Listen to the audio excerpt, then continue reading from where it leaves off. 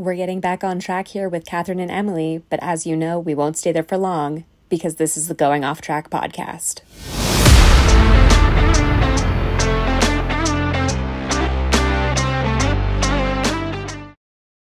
Hello, hello, and welcome back to the Going Off Track podcast. I'm Kathryn, that's Emily, and we're diving into a little bit of F101 um, and some F1 uh, history today. Um, and I'm really excited to uh, dive into F1 Academy. I'm very excited for this episode. I think we've been we both kind of been waiting to do this one. We finally have time and leading up to their, you know, last race of the season and our COTA um, preview, I think this is a, a great time to do it.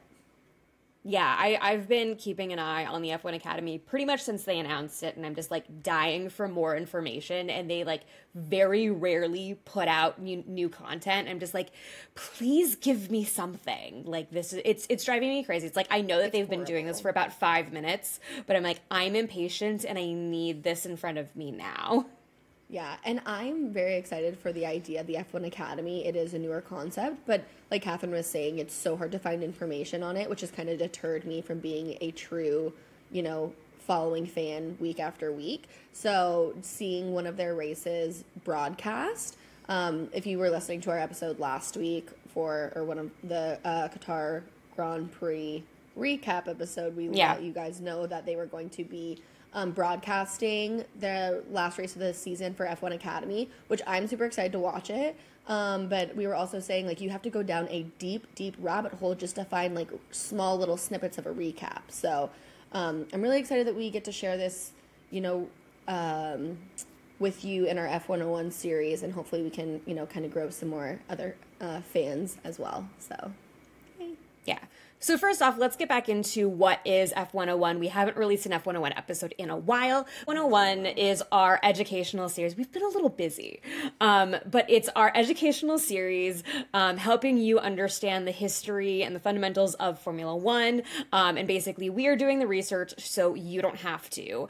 Um, and why we chose the F1 Academy, as we said, is we're, you know, we we're women we worked in sports we work in sports um, and the topic of you know growing the women's presence in motorsport is one of the driving you know factors behind our podcast. And so we really you know it, it's very important to us. It's one of our fundamentals and we're here to share all that information with you so that you can learn about it and you can love it and you can move forward with us um, and be just as entertained by it as we are.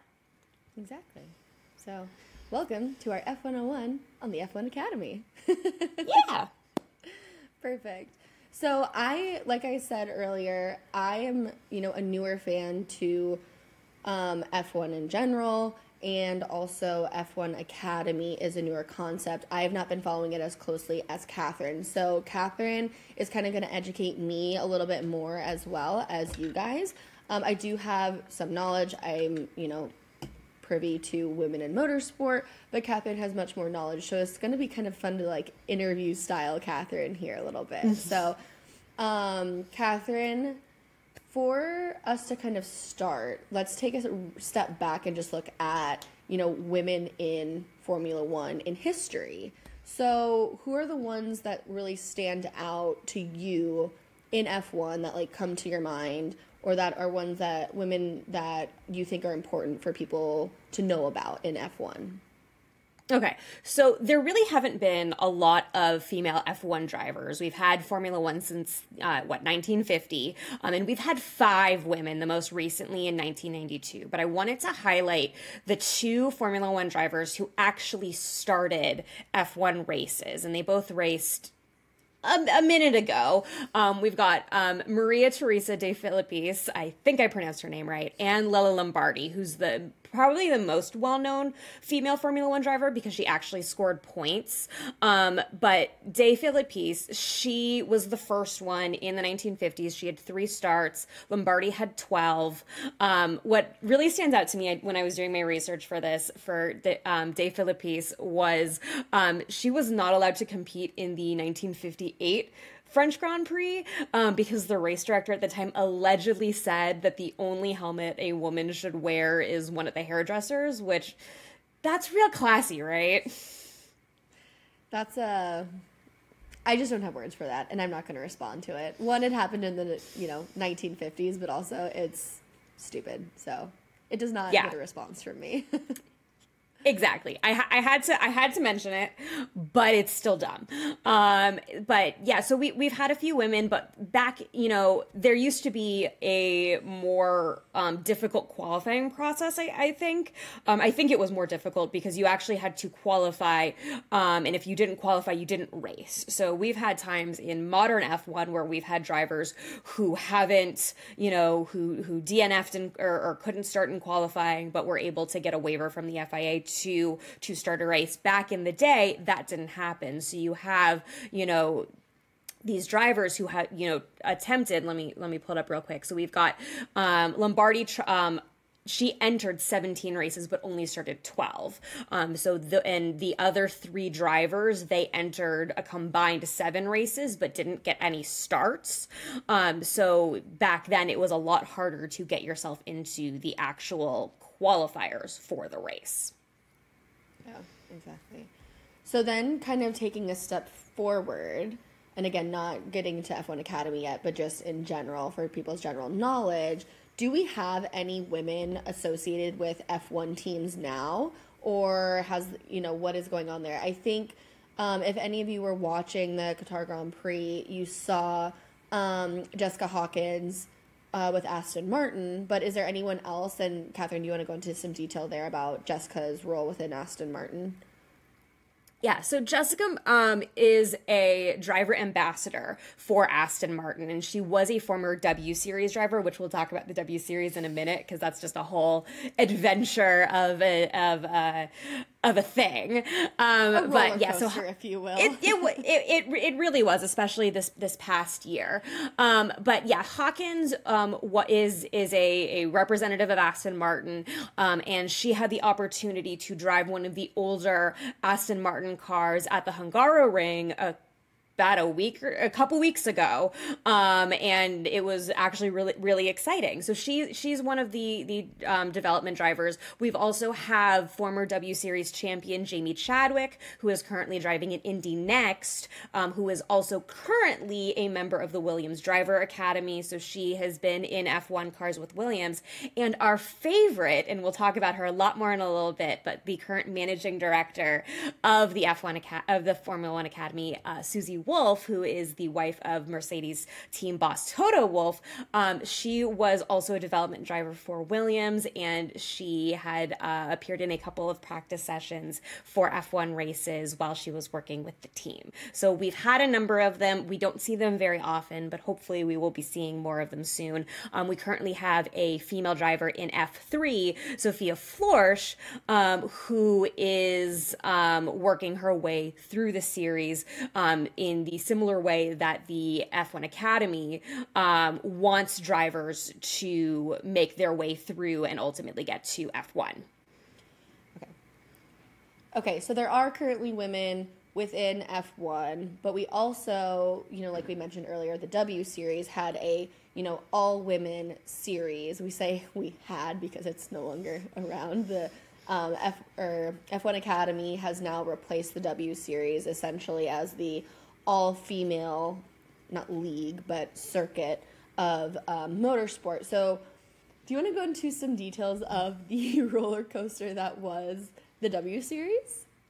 Yeah, absolutely. So um, it was announced in 2018 and had its first season in 2019. It ran for, I will say, two and a half seasons because the 2022 season was cut short. Um, and it was um, it was actually kind of interesting. And I, I read in in some articles about you know what the criticism was when they announced it, and there there's a question of um, is is it beneficial to have a women only series or is it segregating women from the rest of motorsport? Um, which was something that claire williams who was the former team boss at williams and her family used to own williams before they sold it a few years ago. That was what she said and then ultimately i guess she um, rescinded her statement on that. So i don't know if that means she privately changed her mind about it but publicly she did. Um, and Jamie Chadwick, as we mentioned, um, she won each season of the W Series, including that one that was shortened. Um, but in 2022, the series went into administration, which is something that we've seen happen um, before in motorsport plenty of times, most recently with um, the F1 team Force India, which went into administration, became another named team, and then ultimately now is Aston Martin. Um, but it apparently they owed 23 million pounds and only had five 515 pounds in the bank. Um, and I also saw in one of the articles that I read um, that some of the champ, uh, some of the runners up from the championship didn't get paid out their prize money because ev- basically every place in um, the W Series was guaranteed some amount of money. You got a half a million dollars if you won, which Jamie Chadwick won each year. Um, and then the number just kept going down depending on what place you finish. But there were a number of drivers um, who mentioned that they did not actually get their prize money, which is unsurprising for a team going into administration, but also a little bit awkward. Um, yeah and yeah, I, I, was I was actually looking. So personally, my favorite W Series driver was Emma Kymäläinen, um, and I was looking at what she was doing now, and apparently she ended up racing um, in there. There was some some event that she ended up racing in um, in place of Valtteri Bottas, who was not able to participate due to some contract issues with his team Alfa Romeo. So he she ended up teaming up with former F1 champion Mika Hakkinen um, earlier this year. Um, so I just thought that was interesting, and um, it's it's it's cool to see that even though these drivers aren't you know currently competing in the you know these series, they're still driving elsewhere. Yeah, it is. So that's a little bit about the history of women in motorsport, getting us to present day. Um, with the you know W series, but now we have the F1 Academy, which I'm mm-hmm. obsessed with because Susie Wolff oversees is running it. And she's running it. And for again, for those of you who don't know, Susie Wolff is married to Toto Wolff. They are like the unmatched power couple of motorsport. Um, I cannot say more amazing things about Susie. She's the coolest person ever. When I grow up, I want to be her. Um, so this I do know a little bit more about, but F1 Academy was announced in November of 2022 and it is smaller than you know the F1 series that we all know and love. There's only five teams. There's three drivers for each team, um, but it's kind of following the same concept as F1. So, Kathryn, what else is there that we should know about the F1 Academy? So this is um, a spec series. So that means that every car is the same um, which we see in you know f2 f3 where they just they you all have the same car. Um, and the race weekend format is i think it might also be almost be a little bit more challenging because you have seven you only have seven weekends for your for your season but you have three races each weekend. Um, and sure these races are, are you know not as long as a formula one race. They're actually uh, um, they're they're categorized by minutes rather than laps. Um, so the the first and third races of each um, uh, F1 Academy weekend are 30 minutes long. So that means that they'll drive for 30 minutes, and then that lead driver after that 30 minute mark will drive one more lap, and that's it. And then race two is 20 minutes long. Um, same process. The only difference, uh, or the the only other thing, is we've got um, basically the same point scales as regular F1 races and the F1 sprint. So those two longer races um, are basically the same points allocation as an F1 race. So you have an opportunity to grab a lot of points, um, which we'll see when we dive into the current standings. Um, you also get two points for pole position, which I think is kind of interesting because that like that's also a pretty big boost, especially if you're you know coming into a situation situation where you're very close in points. Those two points can mean a lot. Um, and this is a series that is ultimately designed to be the bottom level of the kind of F1 pyramid, where you have F1 at the top is the pinnacle of motorsport, you have F2 and F3 below, and then the F1 Academy is right before the, uh, but below that in kind of that F4 type of series. Yeah, it's meant to kind of help prepare them to jump to F3, F2, F1 and give them more experience driving in a car, pulling G's, things like that. But it's giving them that opportunity to start somewhere. Exactly. And it, it's getting women the same support that these male drivers have been getting for years. Forever. Equality. Yeah. Imagine that. What a concept. Hmm. What's that? What is that? Oh my goodness. Okay. So, yeah. I again, I could say a million things about Susie Wolff, but I think it's really important that we highlight her role in this. So she was announced as the yeah. managing director of the series in March of 2023. And she's not just like, oh, she got it because she's Toto Wolff's wife. Absolutely not. No. Um, she was a development and test driver for Williams for three years in like the early 2000s, mid 2000s, like 2012 to 2015. Um, she appeared in a number of F1 practice sessions for Williams as well. She's been an ambassador for Mercedes since 2016. Um, and she was kind of duh. well, yeah, kind of duh, obviously, but um, and she was also a team principal for Formula uh, for a Formula E team, and then she was promoted to their CEO. So she's been around motorsport for a while. She understands it. It's not just like Toto's like, oh hey Susie, go do something with yourself. Um, so I think it's I think it's really cool. She's been around it, and I think she's a great face for the F1 Academy. Um, yeah, that's my spiel on, on Susie. Do you have anything else you want to add about her? She's like, again, no. when I grow up, I want to be her because she's so cool. But yeah yeah, she she is is one of the the greatest modern ambassadors of motorsport for women um, that that we have, along with uh, these drivers um, that that we're seeing that are are growing through the sport.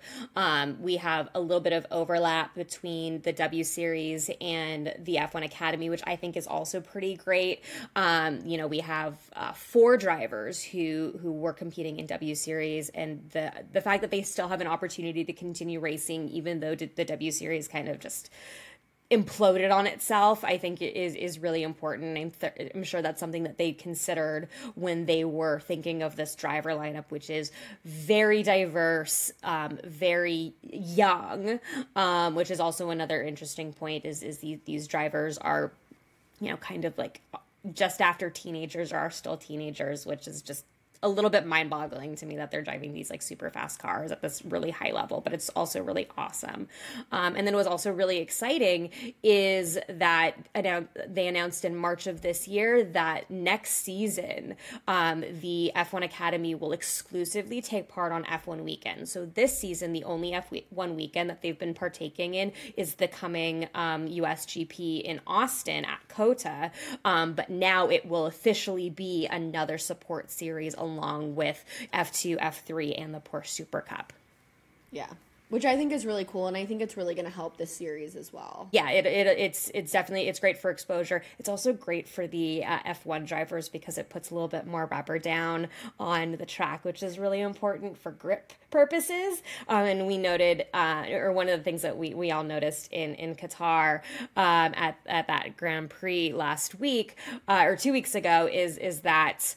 Um, there wasn't a lot of grit because there were no support races at that yeah. race. Um okay. Yeah, and then there's another like vote of confidence in the academy or show of support from F1 and it was announced that starting next year the F1 is going uh teams are going to sponsor drivers. So all F1 teams, not just like one here, one there, all F1 teams are going to sponsor a driver on the grid with other sponsors coming to support the remaining five because there are 15 drivers, like we were talking about earlier. So I think that's really cool that they're really stepping in and coming behind this and really supporting it yeah, I, I, think it's it's one of the, the biggest, like you said, votes of, of support for for this series from the the main series that you're you know you're gonna have you know special liveries that correspond to the current F1 cars. So you're you know you're gonna have a Red Bull car, you're gonna have a Mercedes car, um, you're gonna have an Alpine car um, on the F1 Academy grid, and that's you know just going to continue to expand a the brands of the F1 teams but also expand their ability to support other drivers throughout these other series.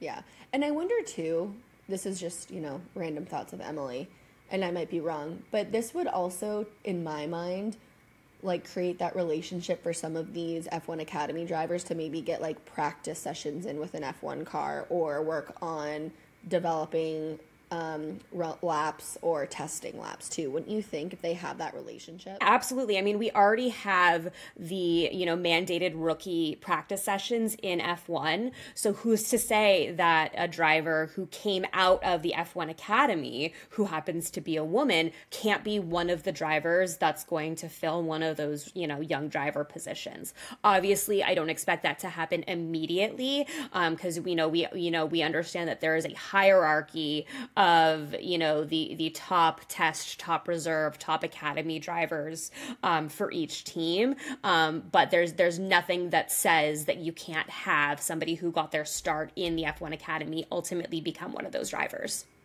Yeah. I think I just think that's cool. Like I would love in my lifetime yeah. to be able to see like a woman starting on the grid. I mean, I know we have like years to go, but it's really cool. And I think another kind of step in that direction is news coming out this morning that the F1 Academy is teaming up with Champions of the Future Academy to increase female participation in karting. So, karting is kind of where you start your motorsport career and you kind of grow through the ranks and it's, you know, F3, F2, F1 if, you know, you're lucky and you're one of the 20 to get a seat in F1.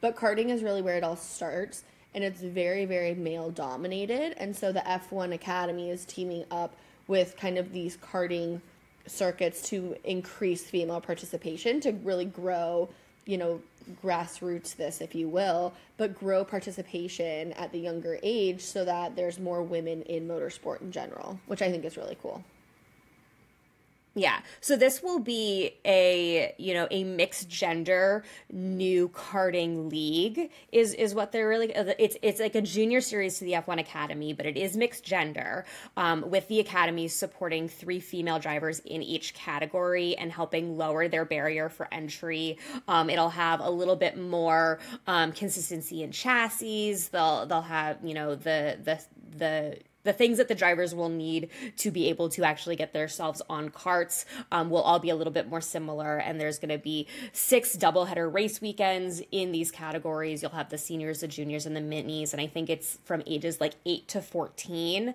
with 36 seats in each um, level. So it, it really is going to give a, a lot of people a lot more opportunity. It'll it'll have a lot more gender equity, I think, and you'll see that a lot more in this junior type of series, and then you're ultimately going to see in you know the the the the more major series. Like I I personally I'm not expecting it to be you know 50-50 female drivers, male drivers. I know that that would take probably a couple hundred thousand years to get to, um, unfortunately. Um, but I do like the idea of having like a larger female presence on the grid. Yeah, definitely. So that's kind of the F1 Academy in its whole entirety. They're, you know, what they're doing, how they're growing. But looking at this season, do you want to give us an update on where they're at this season? Because their season is coming to a close. Like we've said, COTA's their last race or Circuit of the Americas, the American Grand Prix for F1. That is their last race of this season.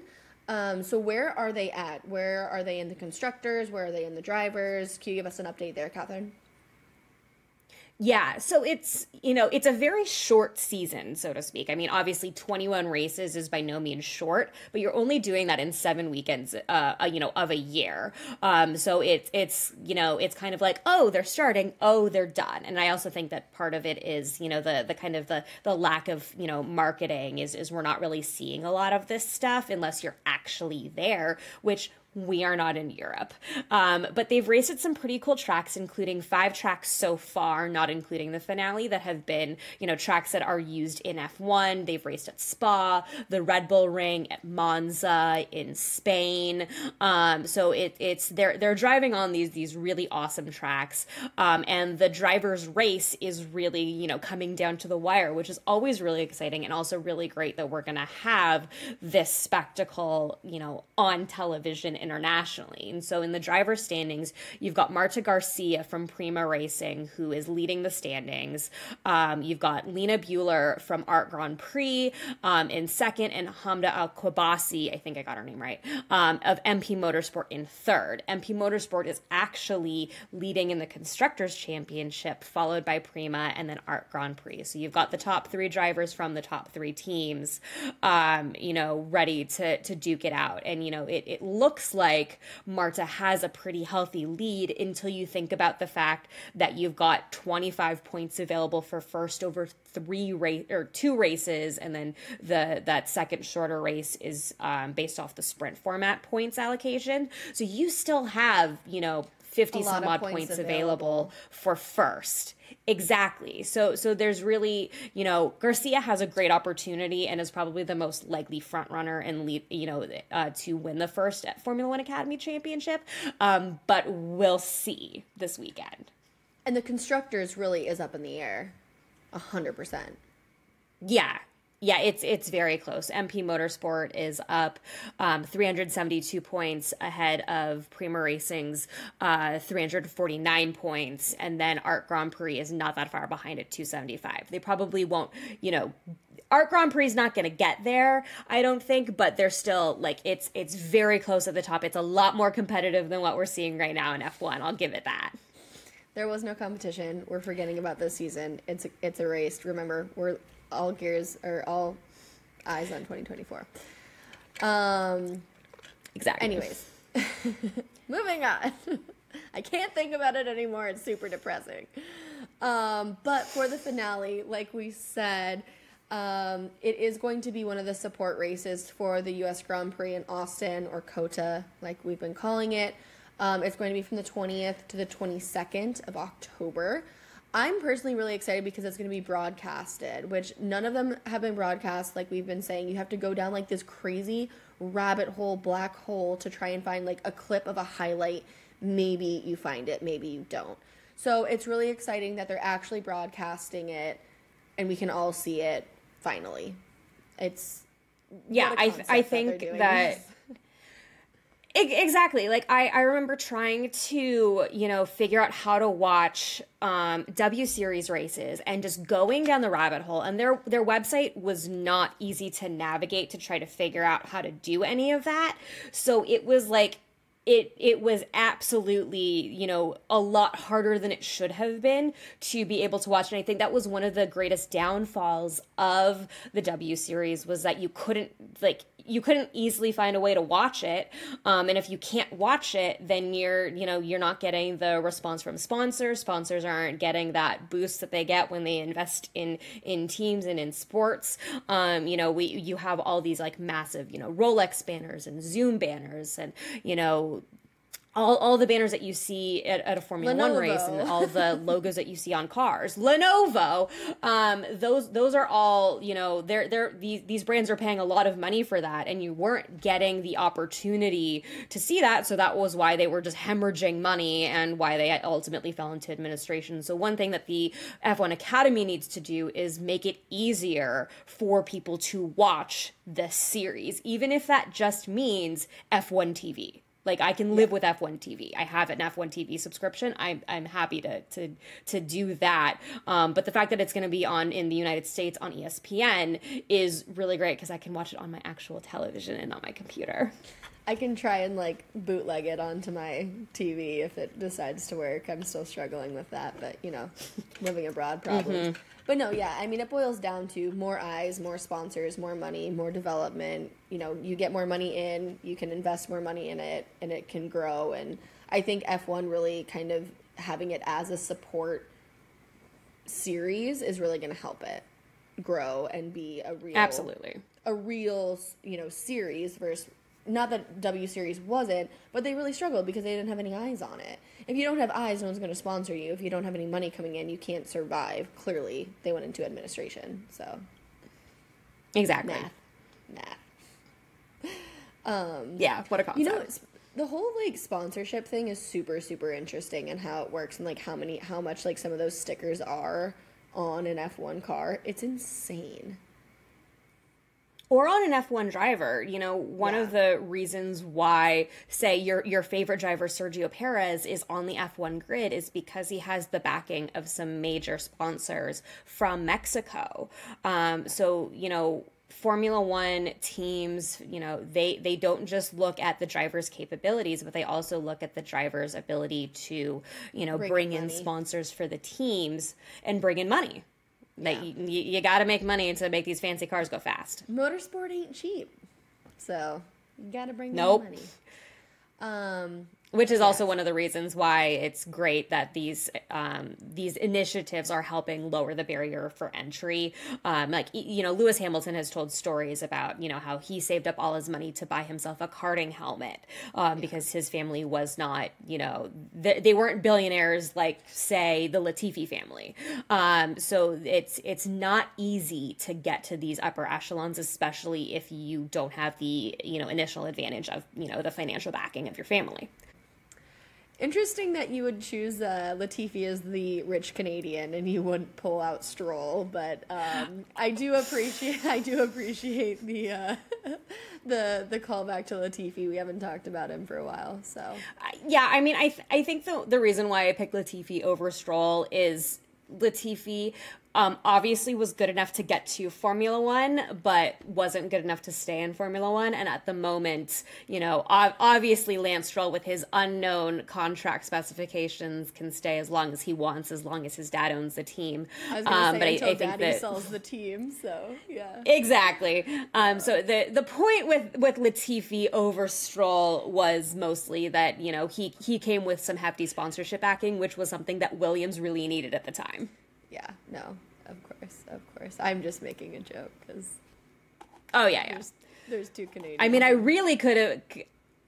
Yeah, I, I, really could have gone into the uh, whole uh, Mazepin of it all, and the reason why Haas signed Mazepin was because of his daddy's money. Uh, but we don't we don't need to dive into. that's a different. That is definitely a different episode. Yeah. oh, okay. Well, getting it back on track here, just you know, after everything we've kind of talked about and our feelings and, you know, whatever, do you think there should be female drivers in F1 or do you think it's going to ruin the sport? Do you think there should we should, you know, keep it all women in the um, F1 academy or and maybe build that up? You know, what are your thoughts there? Um, I absolutely see no reason why there shouldn't be female drivers having full time F1 contracts. Period. End. Period, end of discussion. Done. Moving on. Um, but okay. to but to continue discussing, you know, as I said in our Dutch Grand Prix preview, um, which we're, if you're watching on YouTube, we will link above. Um, I like driving fast. So who's to say that there can't be women who can, you know, who shouldn't be paid to drive really, really fast in these really fast cars? Um, and I think something that is is really important that I think hasn't really been talked about on purpose is Aston Martin when they had Jessica Hawkins do her test driving at the Hungaroring a couple weeks ago they made a point to not release her her lap times. Um and they, they they did that because they didn't want the unfair comparison between her and say Lance Stroll or Fernando Alonso in obviously two very different cars because she is driving in an older F1 car than what we have currently on the grid. Um but that said, I was watching the Qatar Grand Prix pre-show, and um, Nico Rosberg, our favorite chaos magnet um, on in the paddock, he made a point to imply that her times that they didn't release were actually really good and were probably close to competitive. So I don't see why we shouldn't have, you know, female drivers on the grid. Yeah, I think it's very it's not a sport where you're like relying on your physical capabilities. I mean, you're pulling G's, but it's not like you need to be 300 pounds and six foot six to be able to block and tackle. You know what I mean? Like women's bodies just aren't necessarily built that way. But yes, you have to be like physically able to pull G's. Everyone is, you know what I mean? As long as you build up those muscles and do all of those weird like neck things and like go like this and yeah. ridiculous. Um, but it's driving a car. Like we all drive cars. We can all do that. Like I see no issue with it. I don't see why we shouldn't have women in F1.